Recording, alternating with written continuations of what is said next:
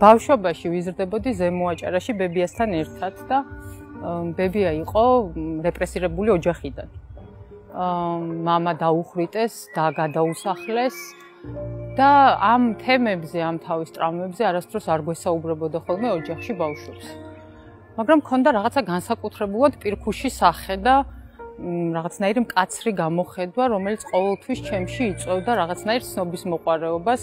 ყოველთვის მეგონა რომ თუ გავიგებდი აი რა საიდუმლოს მალავს ბებიაჩემის პირქუში სახე, რაღაცნაირად გავიგებდი ყველაფერს სამყაროზე. ჩემი ბავშვობის გამოცდილებები და ის სურვილი რომ რაღაც მომეხელთებინა რაღაცა გამოუთქმელი ტრავმატული რომელიც პირდაპირ კავშირშია ჩაგვრასთან, ხო, ჩაგვრის პოლიტიკასთან და ჩაგვრის, ვთქვათ, ასე ვთქვათ, გენეალოგიასთან. მიმიყვანა იმ გადაწყვეტილებამდე, რომ ჩავებარებინა ფსიქოლოგიურზე. სწავლის დროს თითქოს რაღაცნაირად ჩემთვის საკმარისი არ იყო ის ახსნები, რაც ფსიქოლოგიურ თეორიას ახასიათებდა ადამიანის, ვთქვათ, თუნდაც აი ამ ტრამების მიმართ. ფსიქოლოგია თითქოს არ მაძლევდა იმის შესაძლებლობას, რომ ბოლომდე სწორედ აი ამ კონტექსტში, სოციალურ, პოლიტიკურ თუ ეკონომიკურ კონტექსტში დამენახა ადამიანების გამოცდილებები და აღმექვა ეს გამოცდილებები ამ მიმართულებით. და სწორედ ამიტომ რაღაც პარალელურად ვიყავი დაინტერესებული ფოტოგრაფიით და გატაცებული ფოტოგრაფიით, იმიტომ რომ იმ პერიოდისთვის ფოტოგრაფიამ რაღაცნაირად მომცა შესაძლებლობა, რომ ადამიანებს და დოკუმენტურ ფოტოგრაფიას გულისხმობ ამ შემთხვევაში დავკვირვებოდი მათ ყოველდღიურ ყოფით გარემოებებში. მე იყო ესეთი ეტაპი ცხოვრებაში, როდესაც გადავწყვიტე, ვთქვათ, ჩემი განათლება გამეგრძელებინა ანთროპოლოგიის მიმართულებით, მაშინ უკვე შვილი მყავდა და ოჯახი მყავდა. და აი მაშინ პირველად ვიგრძენი, როგორ შეიძლება, ვთქვათ, უკვე დაოჯახებული ქალის, ასე ვთქვათ, გადაწყვეტილება, რომ მაინც გააგრძელოს განათლების მიღება. წაიყვანოს თავისი შვილი ყველა იმ ქვეყანაში, სადაც მე მომიწია განათლების მიღება. ხანდახან შეიძლება დისტანციაზე ყოფნა უწევდეს საკუთარ მეუღლესთან და ოჯახის წევრებთან. აი ამ ყველაფერმა თითქოს პირველად მაგრძნობინა, რომ არსებობს რაღაც стереოტიპი, რომელიც უშუალოდ ქალებს მიემართება, რომ რაღაცნაირად დაოჯახების შემდეგ თითქოს ეს ძიებები, განათლების ეს ასე ვთქვათ, მიმართულებები უკვე რაღაცნაირად აღარ უნდა გაგრძელდეს.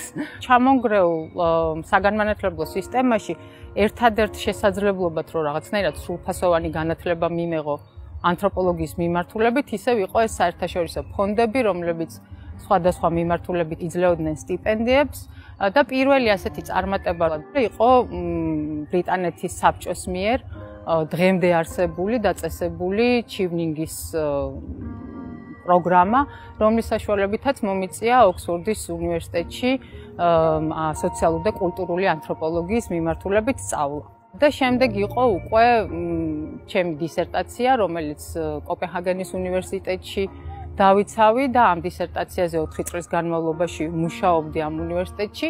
ეს ციგნი, ეს დისერტაცია უბრალოდ ძალიან ცირე ტირაჟით კოპენჰაგენის უნივერსიტეტმა გამოსცა. ამ დისერტაციის ციგნად, ასე ვთქვათ, გამოცემას ვცდილობ ახლა.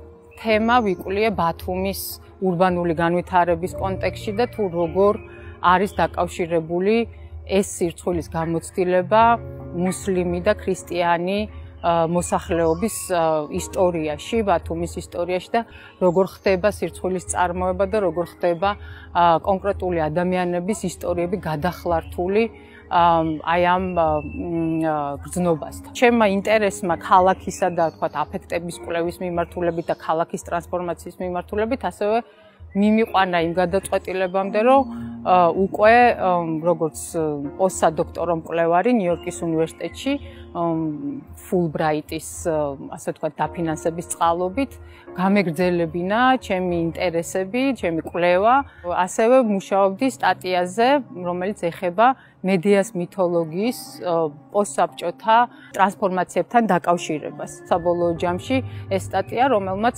შემდეგ უკვე ამერიკის ანთროპოლოგთა ასოციაციის პრიზიც დაიმსახურა. ამჟამად ვარ ანთროპოლოგიის სადოქტორო პროგრამის ხელმძღვანელი და აი ამ პროგრამის ფარგლებში პრინციპში ვცდილობთ ჩემს თანამშრომლებთან და კოლეგებთან ერთად, რომელთა უმეტესობაც სხვათა შორის არაჩვეულებრივი ქალები არიან, ის პირობები და ის კლევითი გარემო შევქმნათ, რაც პრინციპში შეიძლება ითქვას ჩვენ არ გქონია, როდესაც ამ მიმართულებით ვიწყებდით მუშაობას. მე ვფიქრობ, რომ აი რაც მნიშვნელოვანია ალბათ და არ ეხება მხოლოდ გოგოებს, არამედ ზოგადად ადამიანებს, მაგრამ გოგოებს განსაკუთრებული მონდომება ჭირდებათ, რომ ეს ბავშვობაში დაბადებული ძიების სურვილი არ მოკლან საკუთარ თავში და პირიქით შეუწყონ ხელი, რა თქმა უნდა, ამას ჭირდება ასევე გარემო პირობები იმისთვის, რომ ეს ძიების სურვილი კიდევ უფრო გაფართოვდეს და კიდევ უფრო გაძლიერდეს, მაგრამ თვითონაც იყვნენ თავდაჯერებული იმაში,